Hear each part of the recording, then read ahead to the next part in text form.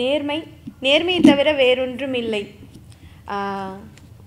அந்த வார்த்தைகளுக்கு அருமையாக பொருந்துவார் இவர்.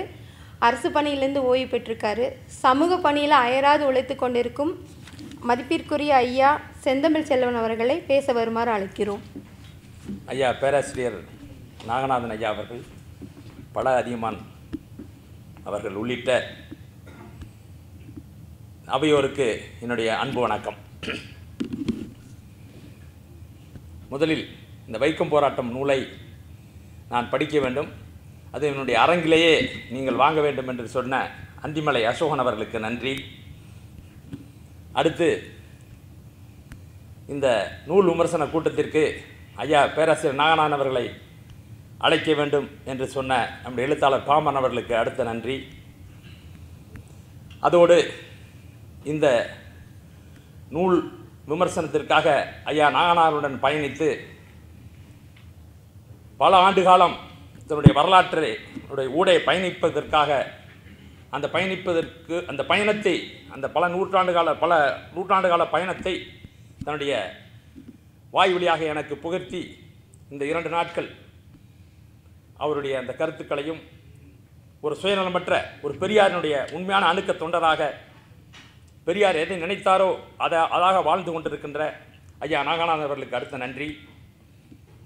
அடுத்து இந்த நூலை பத்தாண்டு காலம் அவர் மனைவி சொன்னது போல குப்பையை பொறுக்கி என்று சொன்னது போல அந்த குப்பையில் பொறுக்குகின்ற அந்த அந்த அந்த பத்தாண்டு காலம் அதை தேடி தேடி தேடி பின்பு மூன்றாண்டு காலம் இதை எழுதி ஒரு ஈடுபாட்டுக்கு இலக்கணமாய் திகழ்ந்து கொண்டிருக்கிற இன்றைக்கு எது நமக்கு இல்லாமல் அந்த ஈடுபாட்டுக்கு இலக்கணமாய் திகழ்ந்து கொண்டிருக்கிற ஆசிரியர் பல அதிகமானவர்களுக்கு நன்றி.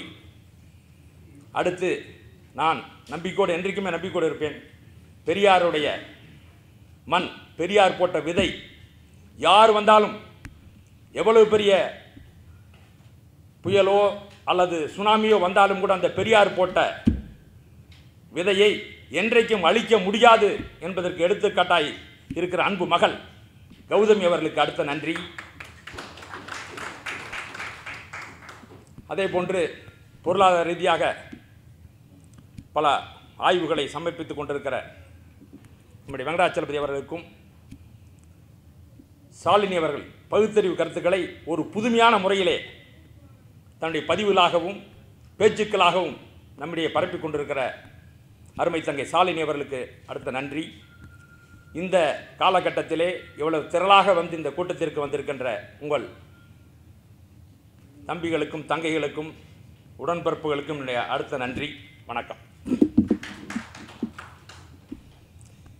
இதிலே அந்த வைக்கம் எடுத்து பாருங்கள் அந்த வைக்கம் என்று ஒரு பெயர் வைக்கக்கூடிய ஒரு தேனியிலே பிறந்த தோழர் வைக்கம் என்று தன்னுடைய குழந்தைக்கு பெயர் வைத்து அந்த குழந்தை நடக்க கும்ப அழைத்து சென்று அந்த கோவிலிலே வைக்கம் வைக்கம் என்று ஒரு கூறக்கூடிய ஒரு உணர்வு தமிழகத்தில் ஏற்பட்டிருக்கிறது என்று சொன்னால் அப்படிப்பட்ட அந்த இயக்கத்தையும் அந்த உயிரோட்டத்தையும் யார் வந்து அழித்து விட முடியும்?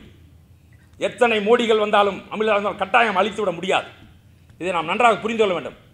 அதற்காக நாம் வாளா இருந்துவிடக்கூடாது நம்முடைய பதிமூணு ஆண்டு கால உழைப்பை எடுத்து கொடுத்த அந்த போராட்டத்தை சொல்லியிருக்கிறார் என்று சொன்னால் அதை படித்த கௌதமி இதை தொடர்ந்து கொண்டிருக்கிறார் என்று சொன்னால் நாம் இன்னும் அந்த போராட்டம் இன்றைக்கும் வேறு வடிவிலே வந்திருக்கிறது.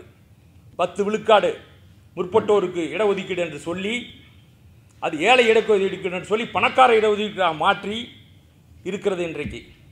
அது மட்டுமல்ல மதத்தால் பிரித்து அந்த மதம் நாம் தயவுசெய்து நீங்கள் யோசிக்க வேண்டும். மதம் என்று நீங்கள் அது இதெல்லாம் சாதுரியமாக அதாவது பெரியார் அந்த பின்னாடி சொல்லுகிறேன். அந்த மதம் மதத்தின் பெயரால் இன்றைக்கு இந்துக்களுக்கும் முஸ்லீம்களுக்கும் கலவரம் வந்து அதில் இந்துக்களும் முஸ்லீம்களும் அதிகமாக கொல்லப்பட்டாலும் நட்டம் அவர்களுக்கு அல்ல ஆள்பவர்களுக்கு அல்ல என்பதை அவர்கள் புரிந்து கொண்டு நம்மிடம் எவ்வளவு கலவரம் ஏற்பட்டாலும் அதை பற்றி அவர்கள் கவலைப்படாமல் இருப்பதுதான் இன்றைக்கு அவர்களுடைய இந்த அலட்சிய போக்கு நாம் புரிந்து கொள்ள வேண்டும். அந்த போராட அந்த அந்த காலத்திலிருந்து இன்றை வரை அந்த அவருடைய மனப்பான்மை மாறவில்லை. ஆனால் நம்முடைய இந்த புரிந்து கொண்டு அடுத்து நம்முடைய இந்த நூலை பற்றி நான் ஏன் இந்த நூலினுடைய அந்த பல அதிகமாக இதை மட்டும் சொல்லிவிடுறேன். நான் நூலை பற்றி பேசுவதற்கு நம்முடைய பேராசிரியர் அவர்கள் அவருடைய அயராத பணியிலே கூட இந்த புத்தகத்தை இரண்டு முறை படித்து அங்காங்கே குறிப்புகள் எழுதி தட்டச்சு செய்து வந்திருக்கிறார். அந்த ஈடுபாடு அடுத்து நாம் செய்து கொள்ள புரிந்து கொள்ள வேண்டும். இன்றைக்கு இருக்கிற இந்த நிலைமையிலே பெரியார் அவர்கள் கௌதமி சொன்னார் அல்லவா? அந்த பெரியார் அவர்கள் அந்த காந்தியிடம் இந்த ராணி சொல்லியிருக்கிறார். அந்த சுவாரஸ்யமான இந்த பகுதியை நம்மளுக்கு தெரிந்திருக்கும். ஏற்கனவே வந்து இவருக்கு பெரியாரை ஒரு யாகம் செய்து பெரியாரை கொல்ல வேண்டும் இந்த போராட்டம் பிசுபிசுத்து போக வேண்டும் என்று பெரியாருக்கு பெரியாரை கொல்வதற்காக வைத்த யாகம் அந்த திருவிதாங்கூர் மன்னரே கொண்டு விட்டது கொன்றதற்கு பின் அந்த ராணி பதவியேற்கிறார்கள். அந்த ராணி பதவியேற்கும் பொழுது ராணியும் காந்தியும் பேசும் பொழுது ராணி காந்தி வந்து ராணி வந்து காந்தியிடம் சொல்கிறார் நீங்கள் இந்த சாலையில் நின்றெல்லாம் நான் ஆணை போட்டு விடுகிறேன். ஆனால் கோவிலுக்குள்ளும் செல்ல வேண்டும் என்று தயவுசெய்து கேட்டுவிடக்கூடாது என்று காந்தியிடம் அந்த ராணி சொல்லும் பொழுது ராணி வந்து பெரியாரிடம் கேட்டு சொல்கிறேன் என்று சொல்லி பெரியாரிடம் கேட்கும் பொழுது நமக்கு இப்போதைக்கு கோவிலுக்கும் போக வேண்டும். ஆனால் இப்போதைக்கு அதெல்லாம் வேண்டாம் என்று சொல்லி ஒரு சாதுரியமான ஒரு அந்த தீர்வை அன்றைக்கு பெற்றிருப்பதற்காக அந்த வெறும் சாலைக்குள் எங்களுக்கு சாலைக்குள் வந்து இப்போது அனுமதி கொடுத்தால் போதும் என்று சொல்லக்கூடிய அந்த சாதுரியம் அன்றைக்கு அன்றைக்கு அந்த போராட்டத்தை வெற்றி பெற வைத்திருக்கிறது.